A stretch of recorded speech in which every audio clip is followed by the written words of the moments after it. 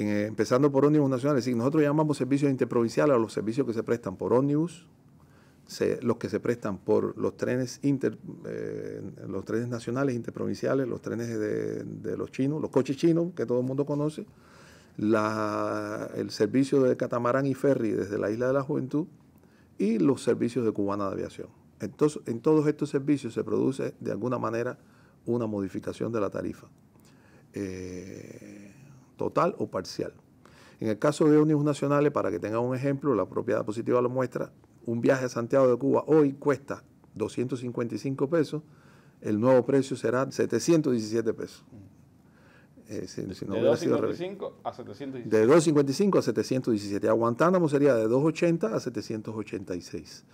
O sea, ahí se produce un incremento, todas las tarifas se mantienen por debajo de mil pesos, las nacionales, las más largas, incluso las de las de ómnibus y las de trenes nacionales con aire acondicionado, que son muy similares unas, unas y otras, porque el, confort del viaje es, similar, hay una diferencia de tiempo, pero en realidad eh, son dos servicios muy similares. No obstante, son precios que, aunque se incrementan, se mantienen todavía eh, en un nivel por debajo de todas las transportaciones alternativas que existen para la población. En el caso del ferrocarril también se modifican las tarifas. Por ejemplo, hoy eh, como conoces, el ferrocarril tiene dos tipos de servicios. Un servicio sin aire acondicionado un servicio con aire acondicionado. El servicio sin aire acondicionado, por ejemplo, hasta Santiago de Cuba, que es de los tramos más largos, costaba 95 pesos el, coche regular sin aire acondicionado, ahora va a costar 670 eh, pesos. Y antes costaba 132 pesos el coche con aire acondicionado desde La Habana hasta Santiago de Cuba, ahora va a costar 820. Estamos hablando que es 132 pesos con aire acondicionado desde La Habana hasta Santiago de Cuba. Si realmente son precios que están hace rato que no, no cubren eh, los costos principales de la actividad. No solo el combustible que ahora se incrementa, sino el resto de los costos, incluida la amortización de esos coches y todo. En eh, otros ejemplos son, por ejemplo, a Matanza, el, precio actual del coche regular son 10 pesos, va a pasar a ser 75 pesos.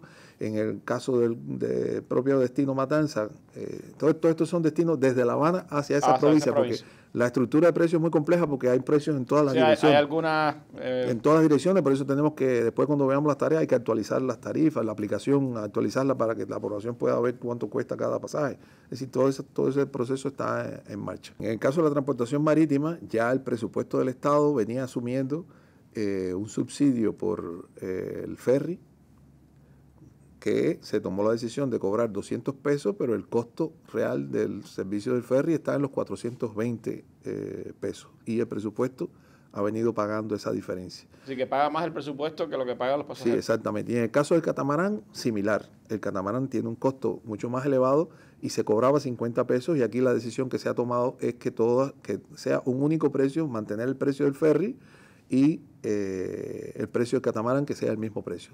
También porque en ocasiones mm, se cambia, dependiendo del estado técnico, se intercambia y realmente es muy complejo después estar haciendo esas modificaciones, así que sigue subsidiado el, el precio de la transportación a la isla de la juventud con una participación eh, de, de, más de 41 millones del presupuesto del Estado, pero igualando los precios a 200 pesos, que es lo que eh, realmente es lo que se ha decidido. La transportación de pasajeros nacional vía aérea se viene haciendo con modalidades de contratación con aerolíneas extranjeras.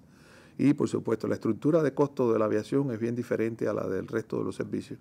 Y por eso los precios de la aviación suelen ser más altos que los del resto de los servicios. Aquí se presentan, aquí hay un incremento también proporcional al que han tenido los demás servicios en el caso de Guantánamo, para tomar la distancia más larga, de 1.140 pesos el boleto, ahora va a costar 4.300 eh, pesos. Eso, eso, esa, resume todo el movimiento de todas las tarifas.